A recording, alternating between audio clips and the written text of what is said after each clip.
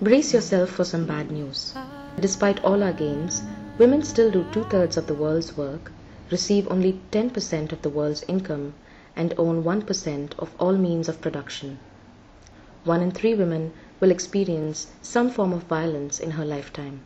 Add to this already grim scenario the presence of armed guerrillas, foreign troops, and child soldiers bearing AK 47s.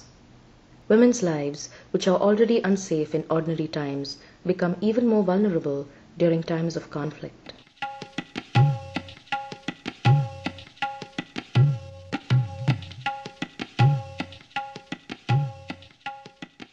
Meanwhile, military led expenditures exceed $4 billion a day, with the United States accounting for nearly half of this total. As I grew up, I saw army personnel coming to our house, I saw rebel groups asking for food and shelter, keeping the AK 47, and I thought all these were normal ways of growing up. Imagine living in a part of the world where after 5 o'clock you can't move out. Imagine living in a part of the world where you pay two kind of taxes, one to the government and one to the rebel groups. Imagine living in a part of the world where every half a kilometer you have a military with a gun pointed at you. And imagine again where military tanks move like an occupation army. That's Manipur where I am from.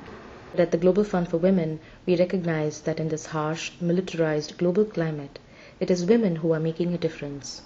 And for this reason, we have launched a powerful and special initiative. The Global Fund for Women's initiative on dismantling militarism saves lives. Civilians are overwhelmingly the casualties of modern warfare. Women's groups like the Manipur Gun Survivors Network and the 117 other organizations already funded through this initiative save lives every day.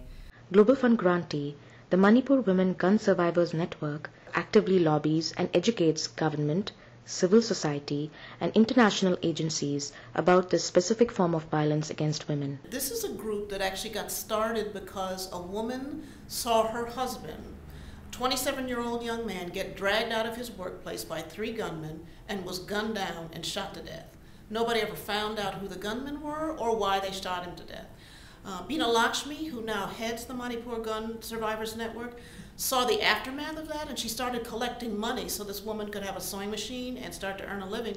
Thanks to the group, 40 women survivors of gun violence are now economically independent and an inspiration to women led household disarmament campaigns. One of the first things that this group did was they started going door to door collecting handguns out of people's homes. Women are tired of, of armies waging wars, wreaking havoc in our communities, destroying our livelihoods, killing our children, taking our daughters and enslaving them and brutalizing them.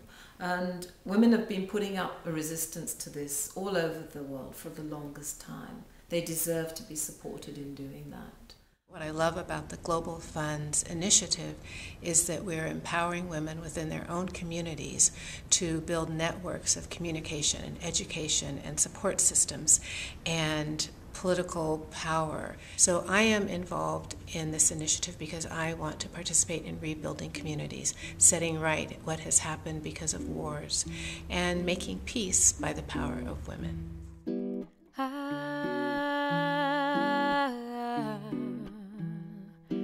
ah,